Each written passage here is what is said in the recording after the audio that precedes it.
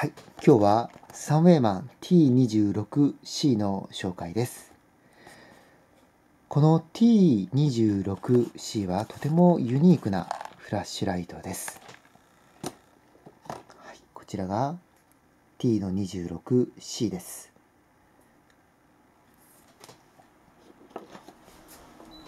まず点灯パターンを見てください。と下の段ボール、これがと約40センチの幅です。とライ壁までの距離はおよそ1メートルです。はい、このような均一の光で照らすことができます。もうちょっと近く行ってみましょう。はい、これが今50センチぐらいでしょうか。ムラのない光で照らすことができます。点灯モードは、はい、この長押しで切り替わります。ダブルクリックでこのフラッシュモードが再度ダブルクリックで通常モードに切り替わります。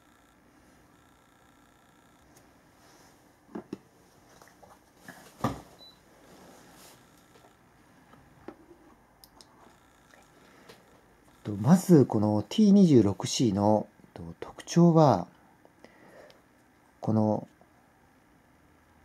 LED の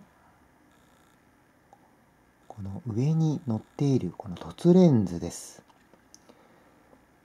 この凸レンズで光を均一にします。こちらがスルーナイト T N12 ですが通常フラッシュライトというのは光を遠くに飛ばすためにこのように反射鏡がついています。こちらは反射鏡がなくこの凸レンズのみです。この T26C の特徴はまず近くを均一な光で照らすというですので遠くに光を飛ばすことはできません。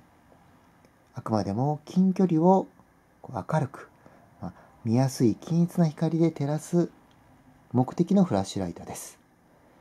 そしてもう一つの特徴としては小さいという点です。電源はスルーナイト TN12 も18650です。1本です。T26C も1本ですが、こんなに大きさが違います。実際持ってみるとこうですが、T26C はもう手の中に収まってしまいます。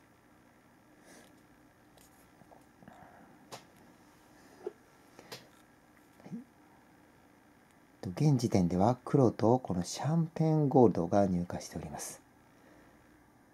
あとグレー色がありますがまだ入荷はしておりません。では各こちらが点灯スイッチ。切り替えスイッチです。これはメタル製になっています。でステンレス製ベゼル、はい、これは本体はアルミ製です。このクリップもステンレスで脱着可能です。ストラップホールドがここについておりとても綺麗な仕上がりです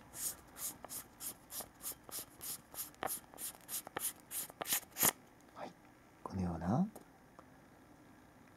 ネジの切り込み部もしっかりと塗装がされています、はい、ただこのプラス極がスプリングがついていないのでボタントップの形状の電池のみ使用することができます。フラットトップですと、へこんでるフラットトップの場合は、プラス極が接触しないので、点灯しないことも考えられます。ボタントップでしたら大丈夫です。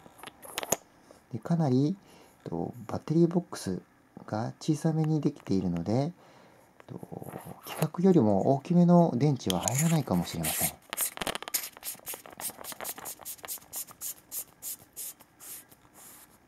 はい、とてもユニークなフラッシュライトサンウェイマン T26C の紹介でした。